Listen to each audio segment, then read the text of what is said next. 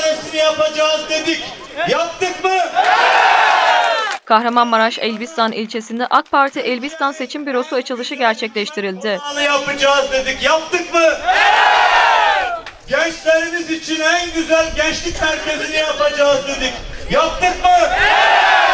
Oldukça yoğun bir katılımın sağlandığı açılışa başta Başbakan Yardımcısı Veysi Kaynak ve 64. Hükümet Kültür ve Turizm Bakanı Mahir Ünal olmak üzere AK Parti siyasetinin birçok önemli isimleri de yer aldı. Yüzde seksenin üzerinde bir evet diyecek Allah'ın izniyle.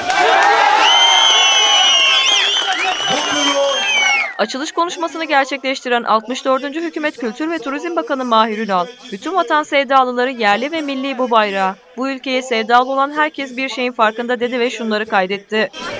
millet ve vatan sevdalıları yerli ve milli bu bayrağı bu ülkeye sevdalı olan herkes bir şeyin farkında kardeşlerim. O da şu. Biz Allah'ın izniyle 16 Nisan günü milletin iktidar olacağı, her kim iktidara gelirse gelsin ama her zaman milletin iktidar olacağı bir güne uyanacağız inşallah 17 Nisan sabahı. Başbakan Yardımcısı Veysi Kaynak yaptığı konuşmada Türkiye çok sıkıntılı günlerden geçti. En son darbe girişimiyle karşı karşıya kaldık. Bu bayraklarla tankların, topların karşısına çıktınız dedi. Türkiye çok sıkıntılı günlerden geçti. En son 2016 yılını büyük sıkıntılarla geçirdik. 2015 yılını iki seçimle geçirdik. Ve Türkiye 2015'te hükümetsiz kaldı, hükümetsiz. Siz milleti, milletin partisini birinci parti yaptınız.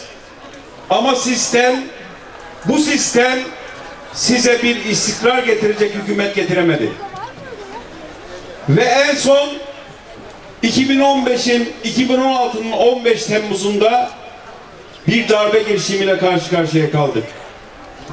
Bakın o gece Türkiye'nin her bir yerinde her bir insanımız, her bir vatandaşımız işte ellerinizdeki bu al bayrakla tankların karşısına, topların karşısına çıktınız. Kaynak, milletin seçtikleri milleti yönetsin. Kimse milletin iradesi üzerinde söz söyleme hakkına sahip olmasın ifadelerini kullandı. İstiyoruz ki bu yavrularımız dünyanın en kalkınmış ülkesinde yaşasınlar.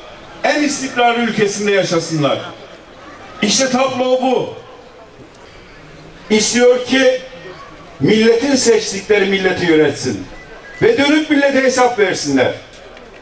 Yargılanabilir olsunlar. Hesap sorulabilir olsunlar. Kimse milletin iradesinin üzerinde söz söyleme hakkına sahip olmasın. Hiç kimse milletin seçtiklerini idam sehpasına götürmesin.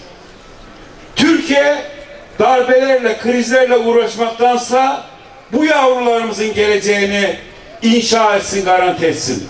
Elbistan'la ilgili projeleri anlatan kaynak, sizlerin gayreti ve bizlerin çalışmalarıyla Elbistan inşallah yarınlara daha umutla bakacaktır dedi.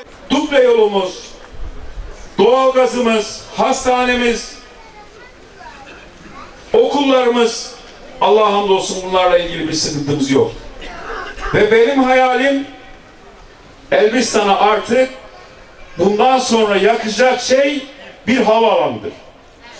Allah'ın izniyle. Elbistan bundan sonra da sizlerin gayretiyle, bizlerin çalışmasıyla inşallah yarınlara daha umutla bakacaktır.